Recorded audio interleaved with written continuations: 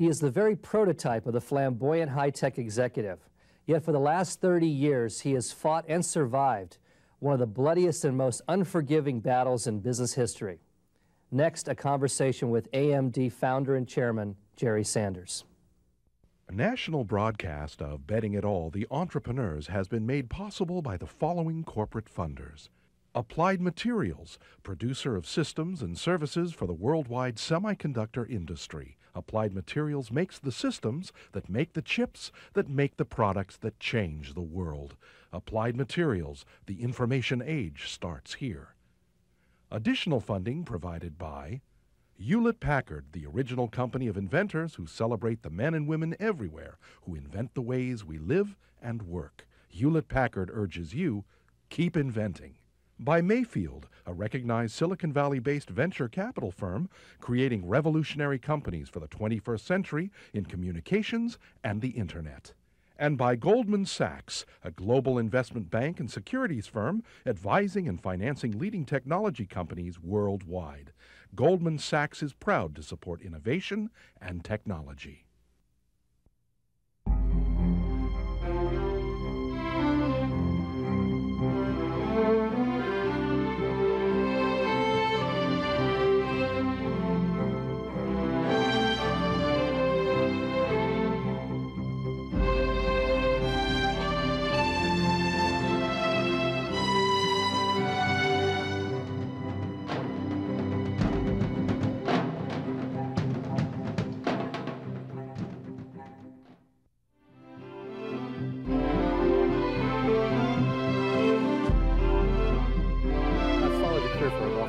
Time. And there's these two giant millstones sitting out there. One of them's called Microsoft, the other one's called Intel.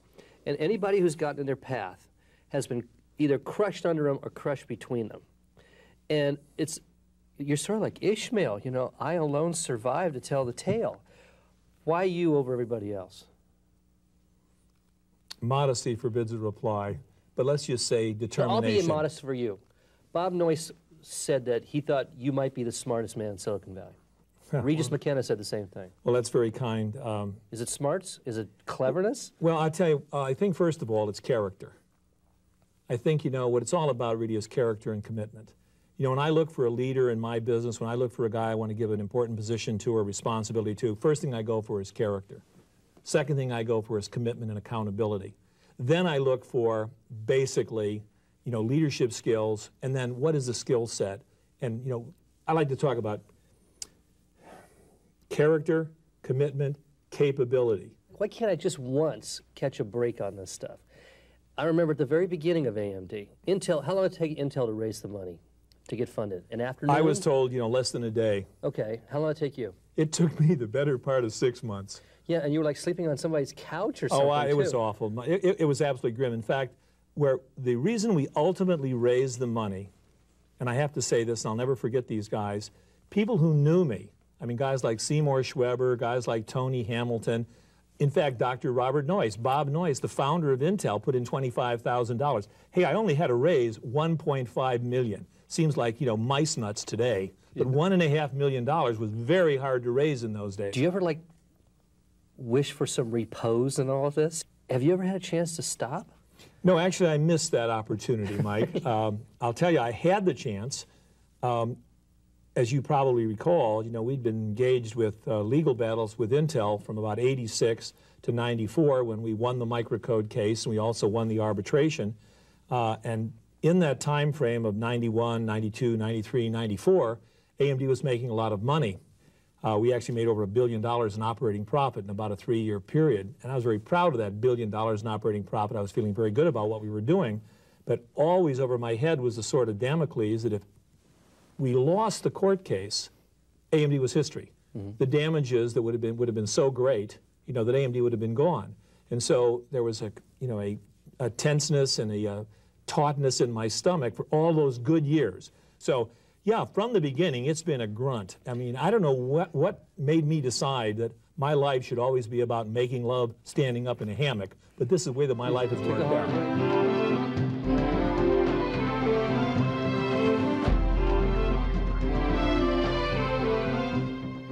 About fun. You were almost synonymous with having fun in Silicon Valley. in the early days. I mean, I, we, I don't, I don't, we, I don't want to go all the way back to like your, your, the myth of the pink pants at IBM that caused the big scandal at Fairchild. No truth in that whatsoever, by the way. But I mean, you, you know, the, you know the rep you had. You were the, you were the high living, fun loving sales I'm still guy a high living, fun loving guy. Yeah, but I mean, the early days of AMD, the big parties, uh, you know, the, the the giant cash awards to employees, all this, all this fun stuff, and you know, the pictures of you on 60 Minutes and the Bentley and all that. Is it still fun, or is it just? What's a big responsibility now? It, right now, I mean, are you still having fun? Uh, I'm not having much fun right now. Fun to me was, um, you know, I love to travel. I love the south of France. You know, I love wonderful cars. You know, uh, I love the good life. But the realities are, there's a part of me which is just duty driven. You know, and I'm, I'm determined to fulfill my dream at AMD. Where did that come from? Where did that, that sense of duty come from? Well, I think it came from my upbringing in Chicago. Uh, my grandfather and my grandmother uh, were, uh, you know, good God-fearing people. My grandfather had a great belief that uh, good things only came from hard work for the average person. What'd your grandfather do? My grandfather was the assistant electrical engineer for the city of Chicago. He did the trolleys or something, didn't he? Didn't he That's the- my dad. That's my dad. My grandfather actually is an unusual human being. My grandfather actually got a college degree at a, uh, a school called Armour Institute, which is now the Illinois Institute of Technology. Of course, in those days, uh, the only thing they dealt with was direct current, so he had a much more limited uh, Yeah. uh, curricula than I did. But my grandfather uh, did not have any of his children complete college. I mean, they, he did not see them complete college. He always felt that they had given up too soon. He, my grandfather was a very harsh taskmaster. He never give you any encouragement. I mean, uh, um, you know, on, on public television, I can't use the words he used to use, say, but basically said, you know, you're a shanty Irishman and you'll wind up nothing more than a pile of, you know.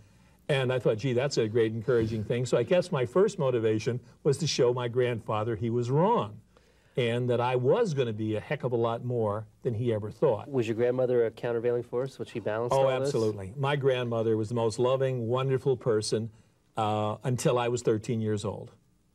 And at thir- because my, my uh, mother and father divorced when I was quite young, and about the time I was four or five, my grandparents, my paternal grandparents, raised me, and my, um, my mother and father remarried and each had five children with their second mate, leaving me and one brother as sort of the abandoned uh, uh, mistakes of the first marriage.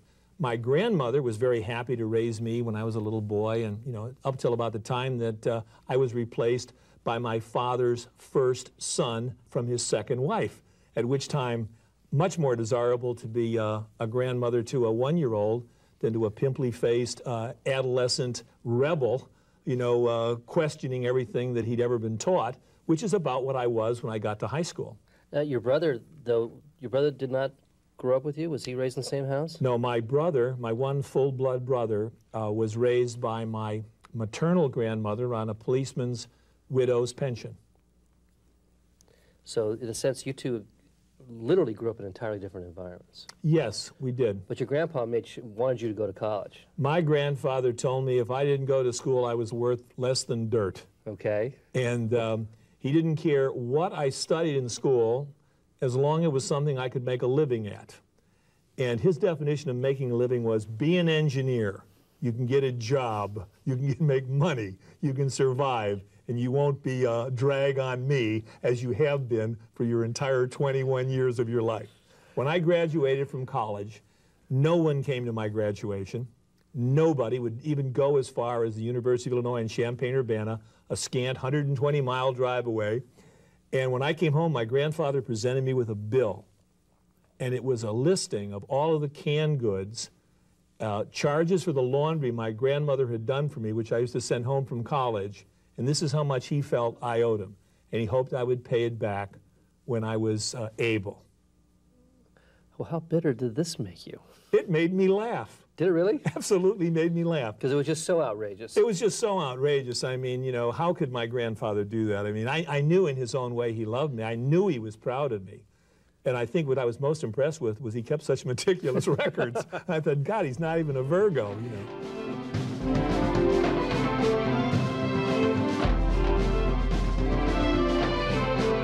Did you want to be an engineer at this point, or did you want to go to Hollywood? Oh, You I- wanted I- to be an actor, didn't you? Well, what I wanted to do was be rich and famous and have beautiful women on my arm, You wanted to be which is all we can really say on television. right. Well, you you wanted to be Ty Hardin, didn't you? At that Oh, wow, your your memory's in, in, incredible. Well, what happened was I didn't know what I wanted to do. Who knows what they want to do when they're in their teens? You know, I, I just knew I wanted a better life.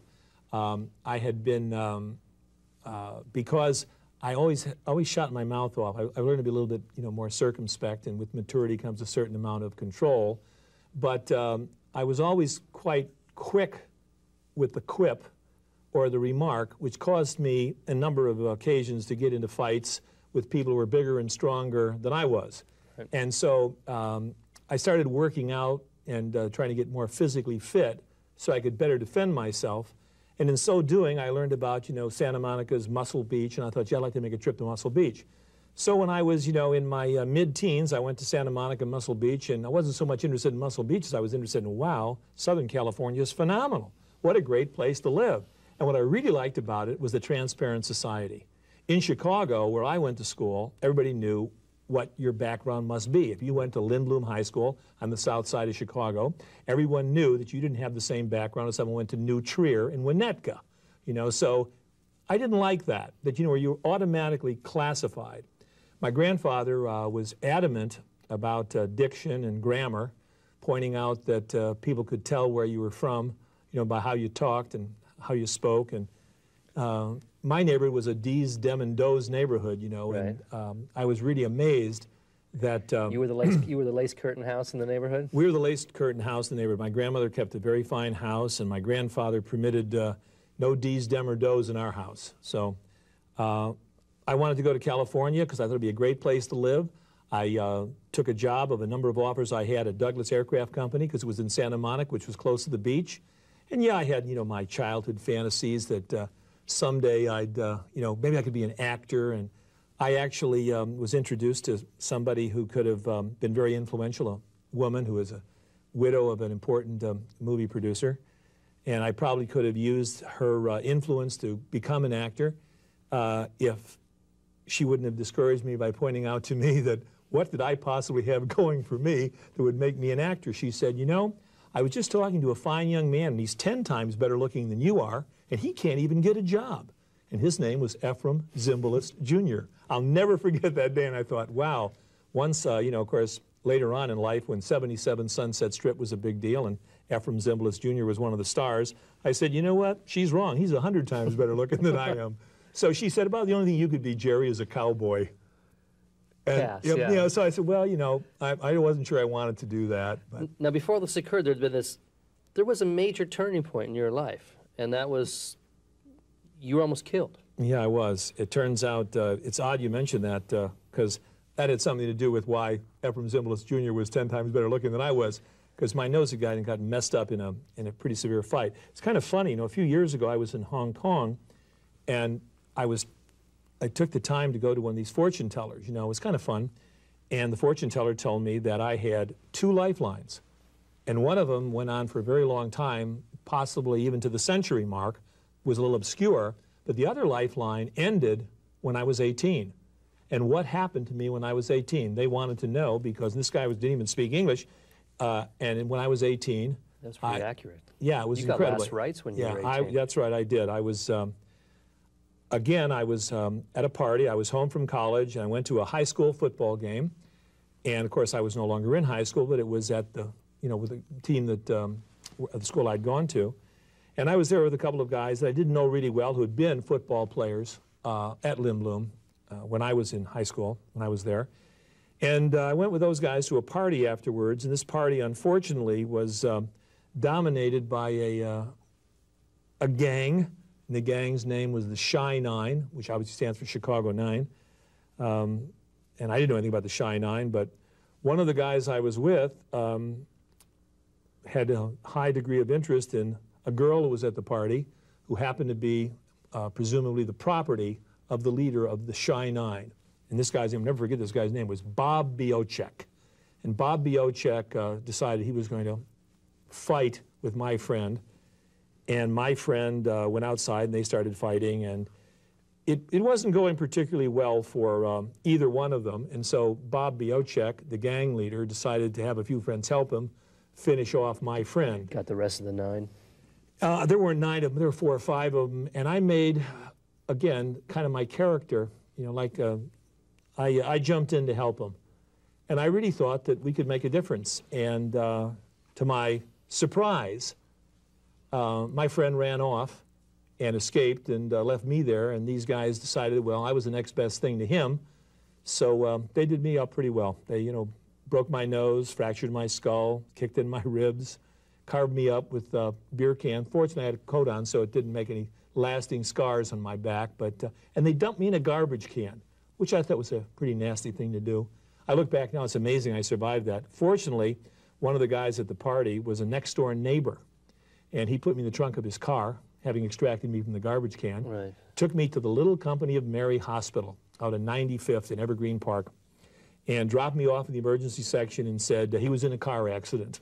well, of course, I wasn't, but uh, there I was, unconscious with a fractured skull. And so uh, they put me in the emergency ward, and he called somebody. I don't remember, it's been so long ago. I was only 17 years old, I think. I might have just turned 18. I think I just turned 18. And make a long story short, they gave me the last rites, and uh, a few days later, I came out of the coma, and there I was with my skull caved in. It looked like somebody had actually taken a silver dollar and impressed it in the center of my forehead and just pounded it in there. So fortunately, uh, it's gotten a little better, but I've always had this broken nose and always have to look from left to right instead of right to left. Did that change you? I mean, did, did, did, did your motivations change at that point? I mean, this is, this is a fundamental turning point in, in your life. Well, There's like before and after. yeah, it was. It, it turns out, what I remember most about that was that I'd been betrayed by a friend. Yeah. And he wasn't my best friend. He wasn't a guy I knew that well, but I'd gone to help him. He and my, down. my reward for that was he let me down. He let me down big time. And I thought about it afterwards, you know, and actually I saw him afterwards. He told me, you know, that you know he had a broken jaw from a football injury and his jaw was wired and could have really been hurt if he'd stuck around. And I looked at this guy and I thought, this is just ridiculous. You let me down. You copped out. You know, I went to your aid and you betrayed me. So it taught me a couple of things. Number one, it taught me, you know, maybe you shouldn't always count on people that you don't know. That's where this character thing comes in. You know, character really counts to me. This guy showed no character whatsoever. And the other thing it taught me, I think, was that um, life isn't fair. And I've dedicated my, I think the turning point for me was I am, you know, just an advocate of fairness in everything. And I remember that uh, when these guys were rounded up, and I guess it was the district attorney or the city attorney was going to prosecute, he said, you know, there's no real point in prosecuting. These guys are already all out on probation. You know, their families have no money, so there's no. In fact, in those days, it never even occurred to us to sue for damages other than maybe to get the medical bills paid. You know, that my grandfather once again had to pay, which is unfortunate. Um, and he just said, you know, these are just bad guys, and you know, so we'll get a guilty plea, but they'll just get more probation. They'll just extend their So the probation. third lesson was there's no justice. There's no justice, or there was no, and that, I didn't think that was fair. You know, I, I thought that that just really wasn't But there right. was justice because didn't Bob Biotic? Yeah, your, your memory is very good. Bob Biosic was found dead in a Denver, uh, you know, street fight. Some, you know, as a result of a Denver street fight some years later. Uh, I had nothing to do with it, you know. Uh, although in some of my more uh, romantic moments, if that's the right word, maybe not romantic, maybe fantastic moments, I thought of writing a fictionalized account of my life where I had something to do with that. But you know, the realities are, um, I've never let myself be burdened with negativity. I think it just uh, it drags you down. You know, I think learn from your mistakes, learn from your experiences, and move forward.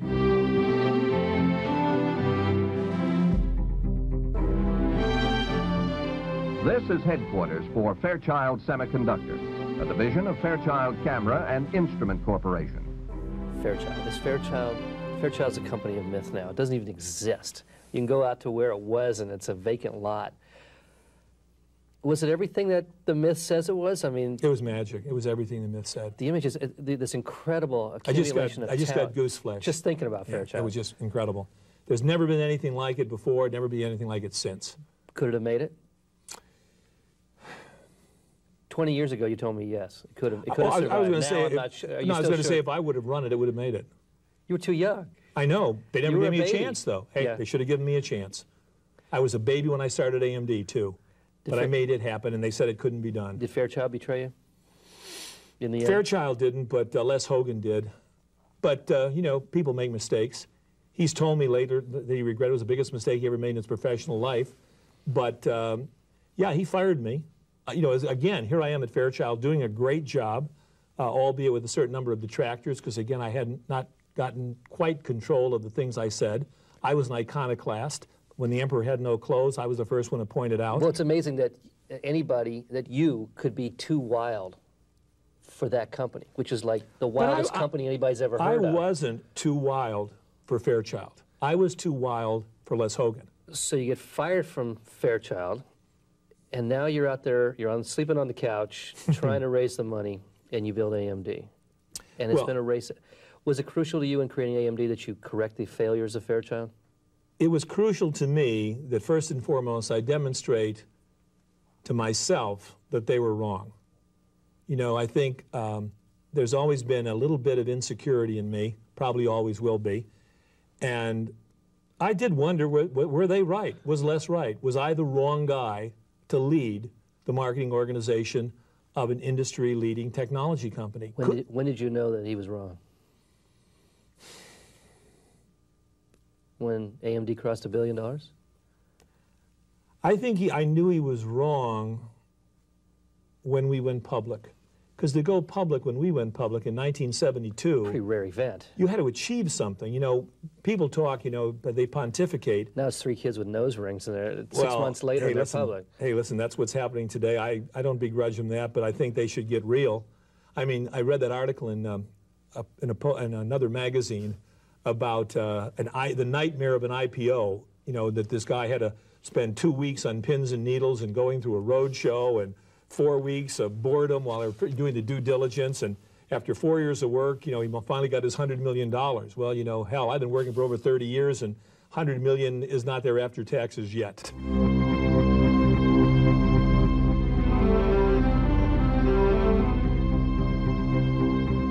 If you were uh, to see the young Jerry Sanders down there in your cantilevered home in uh, Southern California, 25 years old, the, the, you know, the hot young salesman for Fairchild, what would you tell him? I'd tell him to um, pay at least as much attention to the um, uh, base camp as he does to climbing the mountain. Uh, I've been blessed by have, having had uh, two wonderful wives in my life. I had a wife for a long time, gave me three wonderful children. I think the pressures of business contributed substantially to the uh, dissolution of that marriage. But the realities are, it turned out to be a blessing because I've stayed close to my kids. Uh, and it's allowed me to meet a new woman, and fall in love, get married, and have this incredible, you know, second family. It's, it's so. Uh, I guess what I would tell the guys just, but pay attention to the base camp, and that goes now. So I've got to pay attention to my base camp now. I'm still out climbing mountains, and I intend to continue to climb the mountain, uh, but I'm paying attention to my base camp. Would you be an entrepreneur again? By now, you would have been chairman of Motorola. Oh, actually, I think- You would have been chairman of Motorola if you'd stayed by now, given Uh, what you've proven your skills. You know, it would have been it- better it- to have gotten the gold watch? No, it turns out that, um, you know, when I worked at Fairchild, I worked with a guy named Don Valentine. Actually, I worked for Don Valentine. In fact, unfortunately, uh, Don and I didn't stay close uh, after um, he left. Of course, he's been phenomenally successful as a venture capitalist with Sequoia. And Don said something a long time ago, you know, what gave him pleasure was collecting stock certificates in a safe deposit box. And I looked at him and I thought, wow, that wouldn't give me any pleasure at all. What I liked is collecting experiences. And so the reason I'm a fun guy or been a fun guy is I like traveling the world. You know, I, you know, I, I enjoyed going to our plants in Penang. I enjoy, you know, going to the south of France. Who wouldn't? You know, I enjoyed going out to the countryside outside of London and bidding on, you know, uh, antiques. But I, I enjoy experiences. And what I regret is that I don't have more free time. So when do you stay on that beach in Malibu and say, I've won. I can walk away now? Um, I've always done things with numbers. And I guess that when we're a $5 billion company, I'll feel like I now can consider that it's now time to turn over the baton to the next guy.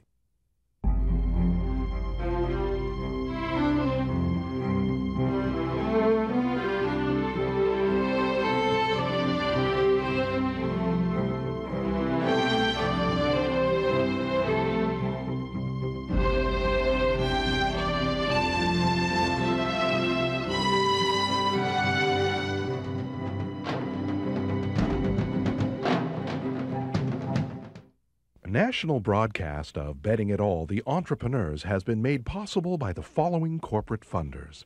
Applied Materials, producer of systems and services for the worldwide semiconductor industry. Applied Materials makes the systems that make the chips that make the products that change the world. Applied Materials, the information age starts here. Additional funding provided by Hewlett Packard, the original company of inventors who celebrate the men and women everywhere who invent the ways we live and work. Hewlett Packard urges you keep inventing. By Mayfield, a recognized Silicon Valley based venture capital firm creating revolutionary companies for the 21st century in communications and the Internet. And by Goldman Sachs, a global investment bank and securities firm advising and financing leading technology companies worldwide. Goldman Sachs is proud to support innovation and technology.